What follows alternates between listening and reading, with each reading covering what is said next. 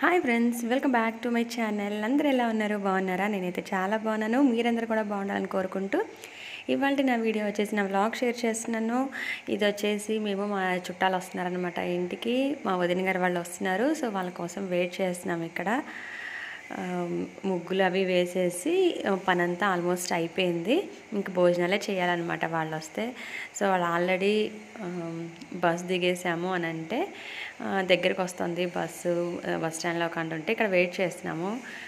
వెళ్ళి వాళ్ళ కోసం చూస్తూ నుంచున్నాం అనమాట బయట. కాకపోతే ఏంటంటే ఈయన బయలుదేరుతుంటే పిల్లలు కూడా బయలుదేరారు. అందరూ వెళ్ళిపోదాం ఆటలో సరదాగా అసలు బయటికి వెళ్ళట్లేదు కదా అనుకున్నాం.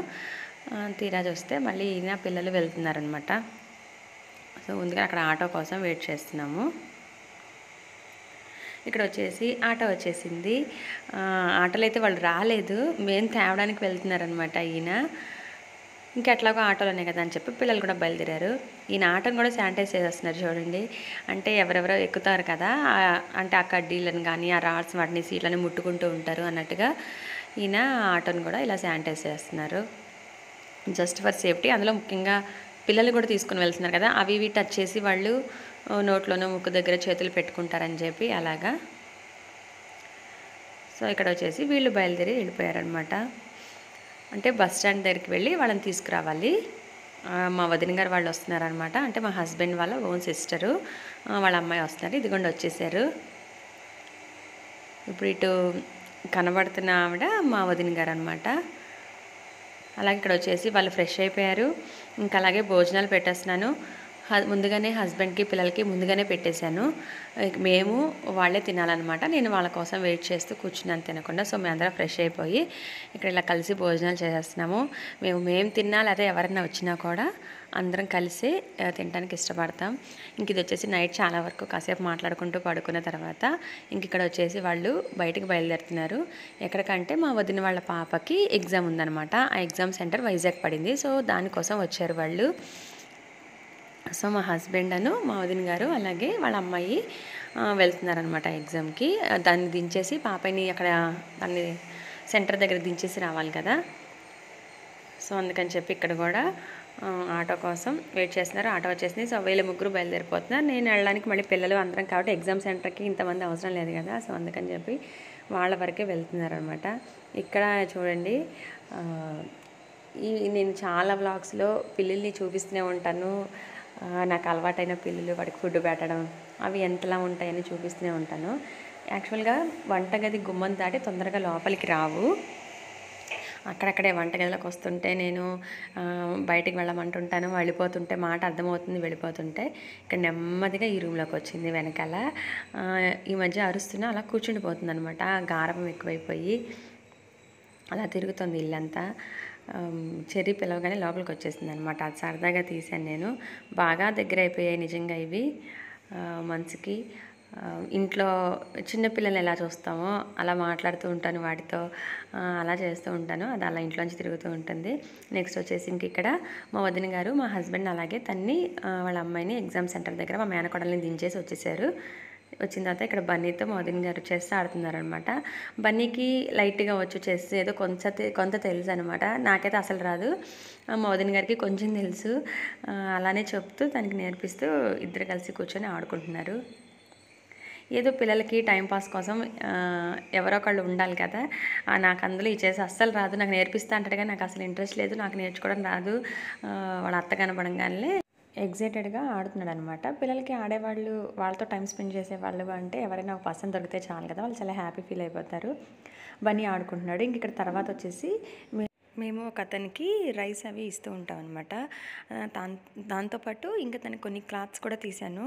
వాళ్ళు అతను ఉండే ఇంటి దగ్గర కానీ అతనికి పిల్లలు ఉన్నారు. అలాగే అతని ఇంటి దగ్గర కూడా పూర్ పీపుల్ ఉన్నారు. సో వాళ్ళకి ఎవరికైనా యూజ్ అవుతాయని చెప్పి నేను కొన్ని శారీస్ అమ్మ ఉంటే అవి అను అలాగే నా డ్రెస్సెస్ బన్నీవి చెర్రీవి కొన్ని సర్దినప్పుడు తీశాను. ఎందుకంటే నా ఉద్దేశం ఏంటంటే ఇది నేను గొప్పకైతే చూపించట్లేదు కానీ నా ఉద్దేశం ఏంటంటే మనం ఒకళ్ళకి ఇలాంటివి ఏదైనా హెల్ప్ చేస్తున్నామనంటే కొంత వాళ్ళకి ఉపయోగపడేలాగా ఉండాలి అని ఇప్పుడు బట్టలు మరీ అంతా పాడైపోయిన తర్వాత ఇచ్చినా వాళ్ళకి దేనికి పనికిరావు అవేవో తుడుచుకోవడానికి వాడికి తప్పితే దేనికి పనికిరావు. సో ఇంకా పర్లేదు. వాళ్ళు ఇంకా కొన్ని రోజులు వాడుకోవచ్చు అనుకున్నప్పుడు నేను కొన్ని పిల్లలవి అవి తీసేసి ఎందుకంటే టైట్ అవుతుంటాయి లేకపోతే పొట్టి అవుతూ ఉంటాయి పిల్లలకి నావైనా కానీ అలాంటివి తీసి కొంత వాళ్ళకి బాగున్నప్పుడు ఇస్తే వాళ్ళు ఇంకొన్ని రోజులు వాడుకునే విధంగా ఉండాలి కదా. సో అందుకని చెప్పి అతనికి ఆ రైస్తో పాటు కొన్ని క్లాత్స్ కూడా ఇచ్చేసాం. వాళ్ళు యూస్ చేసుకుంటే అదే హ్యాపీ. ఇంక ఇక్కడ వచ్చేసి వదిన్ని మాకు ఇంటికి తీసుకొచ్చాము. ఆ ఇల్లు చూపిస్తున్నాము. ఈ ఇల్లు ఏంటి అనేది నేను పూర్తిగా నెక్స్ట్ వ్లాగ్స్లో అంటే ముందు వచ్చే వ్లాగ్స్లో షేర్ చేస్తా. తనకి కూడా ఒకసారి ఇల్లు నచ్చుతుందా లేదా ఏంటి చూపిద్దామని చెప్పి వదిన్ని ఇంటికి తీసుకొచ్చాం అనమాట తన సజెషన్స్ ఏంటి? లేకపోతే తన డెసిషన్ ఏంటి అని కూడా తెలుస్తుంది. సో అందుకని చెప్పి వదినికి తీసుకొచ్చి చూపిస్తున్నా. ఇక్కడ వచ్చేసి ఇది వచ్చేసి ఇంకా ఈవినింగ్ పిల్లల్ని పైకి తీసుకొచ్చామన్నమాట వదిన్ని అందరినీ. అంటే జస్ట్ మేడ మీద రిలాక్స్డ్గా ఉంటుంది చల్లగా చూస్తారు పైన ప్లేస్ ఎలా ఉందని చెప్పి. ఇంట్లో ఉన్న ఇంటి పైకి తీసుకొచ్చాను. ఇక్కడ జస్ట్ నేను పూలు కోస్తున్నాను పిల్లలేమో ఆడుకుంటున్నారు. ఇక్కడ అలాగే వచ్చేసి వాళ్ళు డిన్నర్ కూడా తను పా మా మేనకోడలు కూడా ఎగ్జామ్ నుంచి వచ్చేసింది. వచ్చిన తర్వాత ఇంక ఇక్కడ డిన్నర్ కూడా పెట్టేసి వాళ్ళు నైట్కి బయలుదేరి వెళ్ళిపోతున్నారు అనమాట కంపల్సరీ కూడా ఇంటి ఆడపిల్ల వచ్చి వెళ్తుంది అని అంటే కాళ్ళకు పసుపు రాసి బొట్టు అంటే సహజంగా తాంబూలం అది ఇచ్చి ఏదన్నా ఇచ్చి పంపిస్తాం కదా చీర అలాగా. పసుపు కూడా కంపల్సరీ రాయాలనే వాళ్ళ అత్తయ్య గారు. నేను పెళ్ళైన కొత్తలో అత్తయ్య గారి ఇంట్లో ఉన్నప్పుడు వదిన ఎప్పుడు వచ్చినా నా చేత పసుపు రాయించాయి చేసేవాళ్ళు. అది మంచిది ఇంటి ఆడపిల్ల అని. అందుకని చెప్పి ఇక్కడ నేను పసుపు అది రాసి జాకెట్ మొక్క పళ్ళు పెడుతున్నాను. అది మీకు అనుకోవచ్చు శారీ అది పెట్టచ్చు కదా అని. ఇక్కడ ఏంటంటే మనీ ఇచ్చేసామన్నమాట. తనకు నచ్చింది కొనుక్కుంటుంది అని. సో వాళ్ళ అమ్మాయికి కూడా పెట్టేశాము. ఎందుకంటే ఇంటి ఆడపిల్లలు వచ్చారు అని అంటే వాళ్ళు సంతోషంగా ఉంటేనే మనం బాగుంటాము అనేది ఎక్కువ ఇదవుతూ ఉంటాం మేము. అందుకని చెప్పి తనకి అలా కాళ్ళకు పసుపు రాసి చక్కగా అలా పంపించాలి. సంతోషంగా వెళ్ళాలి వాళ్ళు మన ఇంట్లో నుంచి అనేది మాకు ఒక ఇదనమాట సహజంగా మేము వెళ్ళినా అమ్మ వాళ్ళు అంతే చూస్తారు.